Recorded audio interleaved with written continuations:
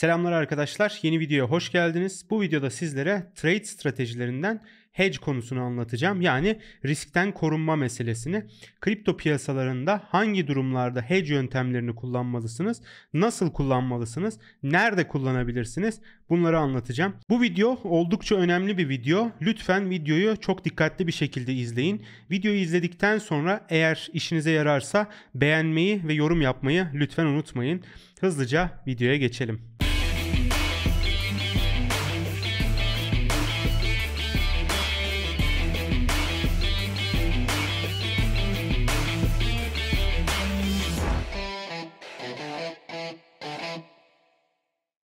Öncelikle videoya başlamadan önce bu videoya sponsor olduğu için Delta Exchange'e teşekkürlerimi iletiyorum. Bu videoda anlatacağım hedge konusunu Delta Exchange'i kullanarak gerçekleştirebiliyorsunuz. Birazdan detaylarına indiğimizde zaten bunları da gösteriyor olacağım. Öncelikle hedge dediğimiz şeyin anlamı riskten korunma demektir. Finansal piyasalarda risklerden korunmak için hedge yöntemlerini kullanabiliyoruz. Peki bu hedge yöntemlerini hangi durumlarda ve nasıl kullanmalıyız? Birazcık bu videoda bunlara bakacağız. Öncelikle kripto borsalarında tutmuş olduğunuz kripto varlıkların size ait olmadığı yorumunu daha önce bazı yerlerde duymuş olabilirsiniz. Ne demek bu? Eğer bir kripto varlığın özel anahtarı size ait değilse o kripto varlık aslında size ait değildir. Örneğin Bitcoin'iniz var ve bu Bitcoin'inizi herhangi bir kripto borsasında tutuyorsunuz. Aslında size ait olan o kripto varlığınızı borsaya emanet etmiş, borsanın cüzdanına emanet etmiş oluyorsunuz. Dolayısıyla borsanın başına gelebilecek herhangi bir olumsuzlukta bir güvenlik zafiyetinde kripto varlık varlıklarınız da risk altında demektir. Bir kripto varlığın %100 size ait olması için o kripto varlığın tamamen size ait olan yani özel anahtarı sizde olan bir cüzdanda durması gerekir. Ancak böyle bir durumda o kripto varlığa tam anlamıyla sahip olabilirsiniz. Hedge yöntemlerini kullanmamızı gerektiren birinci sorun bu. Birazdan detaylarına geleceğim. İkinci sorun ise kripto varlıklarımızı biliyorsunuz bazı durumlarda stakeleme ihtiyacı yani kilitleme ihtiyacı duyuyoruz. Bunlardan belli getiriler elde edebilmek için. İkinci senaryoda da stakelediğimiz bir coin'de coin'in fiyatında gerçekleşebilecek düşüşlerde nasıl riskten korunabiliriz bunları anlatıyor olacağım. Fakat öncesinde ilk verdiğim örnekten ilerlemeye başlayalım. İlk verdiğim örnekte sizin Bitcoin'iniz vardı ve bunu borsaya emanet ediyordunuz. Fakat biz bunun daha güvenli olmasını istiyoruz ve bunun için borsada tutmuş olduğumuz bu Bitcoin'leri kendi özel cüzdanlarımıza çekiyoruz. Bunlar donanım cüzdan olabilir, kağıt cüzdan olabilir.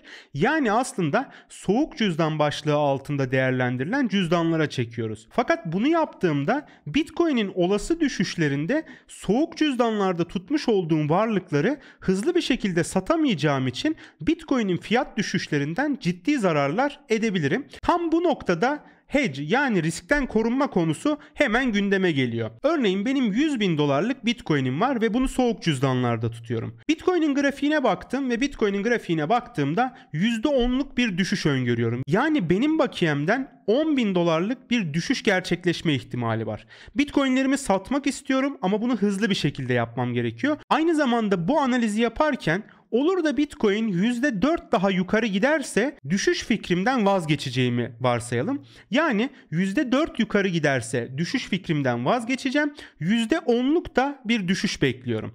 Şimdi bu senaryo üzerinden hedge yöntemini nasıl kullanabileceğimize bir bakalım. Böyle bir senaryoda riskten korunmak için benim kendime belirlemiş olduğum fikrimin geçersiz sayılacağı mesafe %4 olduğu için bu işlemi kaldıraçlı işlemlerde 25x kaldıraç kullanarak yapabilirim. Şimdi kaldıraçlı işlemlere birçok kişinin alerjisi olduğunu biliyorum. Fakat lütfen sabırla dinleyin. Aslında kaldıraçlı işlemlerde şu an anlatacağım senaryoda duyduğunuzda şaşıracağınıza eminim. Şimdi %4'lük bir stop mesafem var. Yani benim düşüş beklentim gerçekleşmediğinde fiyatın %4 yukarı gittiğinde yükselmeye devam edeceğini düşünüyorum. Tam tersi durumda eğer fikrim doğruysa ve %10'luk bir düşüş gerçekleşirse 10 bin dolarlık bir zarardan kurtulacağım. Şimdi bunu yapabilmek için yapacağım şey şu.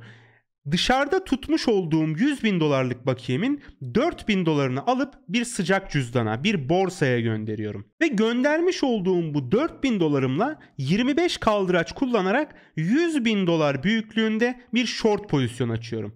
Şimdi benim zaten soğuk cüzdanda 100 bin dolarım vardı. Bunun 4 bin dolarını riskli sayılabilecek bir sıcak cüzdana gönderdim ve bununla 4 bin dolarımla 25 kaldıraç kullanarak 100 bin dolar büyüklüğünde yani param kadar bir satış işlemi yaptım. Short işlem yaptım. Şimdi Olur da Bitcoin gerçekten %10 düşerse bu short pozisyonu kapatırım ve işlemden 10 bin dolarlık bir kazanç elde ederim. Aynı zamanda soğuk cüzdanda tutmuş olduğum bakiyemden de 10 bin dolarlık bir zararım vardır. Dolayısıyla borsadaki karımla soğuk cüzdanda tutmuş olduğum bakiyemdeki zarar birbirine eşit olacağı için hiç zarar etmemiş olurum. Tam tersi durumda olur da Bitcoin'in fiyatı benim sandığım gibi aşağı değil de yukarı gitmeye başlarsa %4'lük bir yukarı fiyat hareketinde 25 kaldıraç kullandığım için stop olacağım ve 4000 dolar kaybedeceğim. Fakat aynı zamanda soğuk cüzdanda Bitcoin tutmaya devam ettiğim için o taraftan da kar edeceğim ve aslında sıcak cüzdandaki zararımla yine soğuk cüzdandaki karım birbirlerine eşit olacak ve ben aslında hiç zarar etmemiş olacağım. Görmüş olduğunuz gibi kaldıraçlı işlemler aslında bakiyenizi bir yerde sıcak cüzdanda ya da bir borsa cüzdanında tutmak istemediğiniz zamanlarda sizin potansiyel zararlarınızı hedgelemiş oluyor, korumuş oluyor. Şimdi diyebilirsiniz ki peki ben bu işlemi niye yaptım? Aslında çok basit.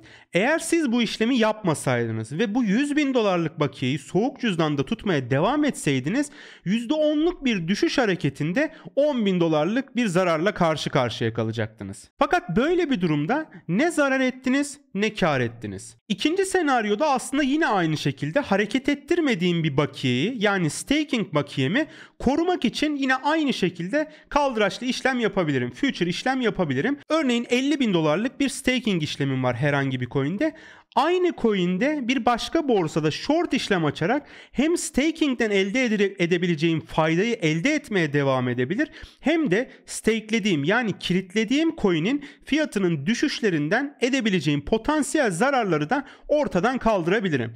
Biliyorsunuz bazen borsalarda %50 %60 gibi çok ciddi kar oranları veren coin'ler oluyor staking geliri veren. O coinlerde örneğin bir ay stake yaparak aynı zamanda bir aylık aynı coinde bir short pozisyon açarak aynı büyüklükte yani stakelediğiniz miktar 50 bin dolarsa 50 bin dolarlık short pozisyon açtığınızda aslında şunu yapmış oluyorsunuz. Kilitlediniz ve bir short işlem açtınız borsada. ADA olsun coin'in ismi örneğin. ADA coin'de 50 bin dolarlık short işlem açtınız. Diyelim ki coin yükseldi. Yani sizin short pozisyonunuz zararda. Zaten stakelediğiniz coin kâra geçtiği için borsadaki zararınızla staking'deki paranız birbirlerini yine eşitleyecek. Tam tersi durumda diyelim ki coin'in fiyatı düştü. Coin'in fiyatı düştüğünde siz zaten future işlemde short açtığınız için kar edeceksiniz. Fakat öbür tarafta stakelediğiniz miktardan da zarar edeceğiniz için yine birbirlerini eşitleyecek ve staking'den elinize kalacak olan fayda yani faiz geliri sizin cebinize risksiz bir şekilde girmiş olacak. Umarım buraya kadar sizlere konunun temelini anlatabilmişimdir. Buraya kadar kafanıza takılan bir şey olursa lütfen yorumlar bölümünde sormayı unutmayın. Hadi gelin sizlere bunu bu videonun da sponsoru olan Delta Exchange'e nasıl yapabileceğinizi göstereyim. Öncelikle Delta Exchange'e üye olmak ve 30 bin dolara kadar bonustan faydalanmak için videonun açıklama kısmında bulunan özel linki kullanabilirsiniz. Bu link aynı zamanda size Delta Exchange'de yapacağınız işlemlerde %15'lik bir komisyon indirimi sağlayacak. Dilerseniz hemen videonun açıklama kısmındaki linke tıklayın ve Delta Exchange'i incelemeye birlikte başlayalım. Delta Exchange'e girdiğinizde karşınızda oldukça basit bir arayüz olduğunu hemen fark edeceksiniz. Sağ üst köşeden dil seçeneklerinden Türkçeyi seçerek siteyi Türkçe kullanabilirsiniz. Yine sağ üst köşede bulunan kaydol butonuna basarak hızlıca kaydınızı tamamlayabilirsiniz. Hesabıma giriş yaptıktan sonra sol üst köşede bulunan piyasalar bölümüne gidiyorum. Şimdi demin anlattığım senaryolar üzerinden gidelim. Örneğin benim 100 bin dolarlık bitcoin'im var. 100 bin dolar değerinde bitcoin'im var. Ve bu bitcoin'lerimi soğuk cüzdanda tutuyorum. Ve bitcoin'in %10 düşme potansiyelinin olduğunu yine aynı analize göre %4 yukarı giderse fiyatın artık yükselmeye devam edeceğini düşünüyorum. Burada belirleyici unsurlardan bir tanesi de aslında vadeniz. Eğer kısa bir vadede bu işlemin gerçekleşeceğini düşünüyorsanız örneğin bir ay içerisinde, iki ay içerisinde burada arama bölümüne Bitcoin yazdıktan sonra aşağıda bulunan vadeli kontratlardan bir tanesini seçerseniz ekstra komisyon da ödemezsiniz. Burada perpetual kontratlarda ekstra bir komisyon ödendiğini hatırlatmam gerekiyor. Yani long işlemler ve short işlemlerin çokluğuna göre bir taraf diğerine komisyon ödemesi gerçekleştiriyor. Fakat bu işlemi burada görmüş olduğunuz aşağıdaki bu 4 futures kontratı üstünde yaparsanız kendi vadenize göre herhangi bir ek komisyon ödemesi yapmazsınız. Fakat bu noktada dikkat etmeniz gereken şey olur da sizin vadenizden önce fiyat bir noktaya ulaşmazsa bu kontrat vade tarihinde kapandığı için sizin işleminiz de o anda neyse o şekilde kapanacaktır. Buna dikkat etmeniz gerekiyor. Yani kontrat kapanır kapanmaz aynı işlemi olduğu yerden aynı şekilde tekrar açmanız gerekebilir. Fakat dediğim gibi bu işlemi en az maliyetle yapmanın en mantıklı yolu aslında buradaki future kontratları kullanmaktır. Yok ben perpetual kontratta yapmak istiyorum. Bu vade konusunu kafaya takmak istemiyorum derseniz yine buradan Bitcoin dolar paritesini seçip burada işlemlerinizi yapabilirsiniz. Şimdi 100 bin dolarlık bakiyemiz vardı ve 100 bin dolarlık bu bakiye ile burada aynı büyüklükte bakın burasının altını çiziyorum 100 bin dolarlık bir short pozisyon alacağım. Öncelikle bizim senaryomuzda 100 bin dolarlık bir satış işlemi yapmak istiyorum. Ben benim 100 bin dolarlık bitcoin'im var ve bunu hedgelemek istiyorum. Riskten korunmak istiyorum bu bakiyede. Öncelikle buradan satış kontratına geliyorum. Satım bölümüne geliyorum. Buradan miktar kısmına ne kadarlık işlem yapmak istediğimi yazıyorum. Örneğin benim senaryomda 100 bin dolarlık bir satış işlemi yapacağım. Çünkü 100 bin dolarlık bitcoin'im var. Burada miktar kısmına 100 bin dolar yazıyorum. 100 bin dolar yazdığınızda buraya bakın aşağıda teminat olarak sizden 2000 dolarlık bir bakiye istiyor. Bunun sebebi benim şu anda 50 kaldıraç kullanıyor olmam. Eğer bunu 100'e çıkartırsam ve onaylarsam bakın aşağıda 1000 dolarlık yani %1'i kadar teminat istemeye başladı benden. Bu noktada dikkat etmeniz gereken şey şu. Kullanmış olduğunuz kaldıraç kadar ben burada izole marjin kullanıyorum. Dilersen bunu portfolyoya da çevirebilirim. Yine bu portfolyoyu diğer borsalardan cross olarak da biliyor olabilirsiniz. Portfolyoyu seçtiğinizde cüzdanınızdaki bütün bakiyeyi kullanır bu işlem için. Fakat izole marjini seçtiğinizde kaldıraçınız ne kadarsa Örneğin 100 kaldıraçsa bu şu demek %1'i kadar teminat kullanacak demek. Aynı zamanda teminatınız bittiğinde yani teminatınız kadar zarar ettiğinizde o işlemin kapanacağı, likide olacağı anlamına gelir. Ben burada eğer 100 kaldıraçı seçersem %1'lik bir ters harekette benim düşüncemin tersi harekette işlemimin kapanacağı anlamına gelir. Bizim senaryomuzda neydi? Biz %4'lük bir fiyat hareketinde işlemimizin kapanmasını istiyorduk. O zaman buradan 25 25x'i seçebilirim. 25x'i seçtiğimde fiyat %4 yukarı giderse aşağı düşmez yukarı giderse benim işlemimin kapanmasını ve teminatımı kaybetmeyi göze alıyorum. Çünkü zaten soğuk cüzdanda tutmuş olduğum bakiyeden kar edeceğim ben. Buradan onayla dediğimde bakın aşağıda bana diyor ki 4000 dolarlık bir teminata ihtiyacım var. Ben bu borsaya 4000 dolarlık bir para yüklemesi yaparak 4000 dolarlık USDT yükleyerek bu işlemi alabilirim. Şimdi dem şimdi deminki senaryo üzerinden yine düşünecek olursak ben olur da bu işlem likide olursa yani %4 yukarı giderse 4000 dolarımı kaybedeceğim. Aynı zamanda zaten soğuk cüzdanımda 100 bin dolar büyüklüğünde bir pozisyon tuttuğum için o 100 bin dolarlık pozisyonumdan da 4 bin dolarlık bir kazanç elde edeceğim. Çünkü fiyat %4 yukarı gitmiş olacak. Görmüş olduğunuz gibi bir taraftaki zararımla bir taraftaki karım birbirini tam anlamıyla karşılamış olacak. Tam tersi durumda. Fiyat %10 düştüğü durumda ben 100 bin dolar büyüklüğünde bir pozisyon aldığım için 10 bin dolar civarında bir kar elde edeceğim. Aynı zamanda soğuk cüzdanda tutmuş olduğum 100 bin dolarlık bitcoin'den de 10 bin dolar zarar etmiş olacağım. Dolayısıyla kaldıraçlı borsadaki bu işlemdeki karımla soğuk cüzdandaki zararım yine birbirine tam anlamıyla eşit olmuş olacak. Yani ben soğuk cüzdanda tutmak istediğim bu bitcoin'lerden hiçbir şekilde zarar etmemiş olacağım. Aynı şeyleri staking bakiyeleriniz için de düşünebilirsiniz. Örneğin Solana kitlediniz, örneğin ADA kitlediniz, örneğin AVAX kitlediniz. Herhangi bir coin kaldıraçlı işlemlerde, future piyasalarda işlem yapılabilen bütün coinlerde bu senaryo ile birlikte işlem yapabilir ve riskten korunabilirsiniz.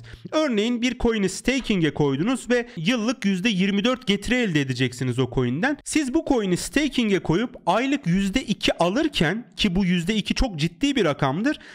%2 alırken aynı zamanda coin'in düşüşlerinden de hiç zarar etmeden çıkabilirsiniz. Ki bunu BNB'de, FTT'de, Bunları bunlar stakelenen coinler biliyorsunuz. Birçoğunda yapabilirsiniz ve staking gelirini risksiz bir şekilde gerçekleştirebilirsiniz. Delta Exchange'de aynı zamanda opsiyon kontratları da var. Fakat bu videoyu daha fazla uzatmamak adına ben şimdilik bu videoyu bu noktada bitireceğim. İkinci videoda sizlere opsiyon kontratlarından da bahsedeceğim. Opsiyon kontratları da oldukça önemli kontratlar. Bu videoyu da kaçırmak istemiyorsanız kanal bildirimlerini açmayı unutmayın. Böylece videoyu yüklediğimde hızlı bir şekilde haber haberdar olmuş olacaksınız. Videoyu faydalı bulduysanız lütfen videoyu beğenmekten ve kısa da olsa bir yorum yapmaktan çekinmeyin. Yine sorularınızı da videonun yorum bölümünde sorabilirsiniz. Tamamını cevaplayacağımdan emin olabilirsiniz. Videonun başında da bahsettiğim gibi bu videonun sponsoru Delta Exchange'di. Delta Exchange oldukça kullanışlı bir platform. Delta Exchange'de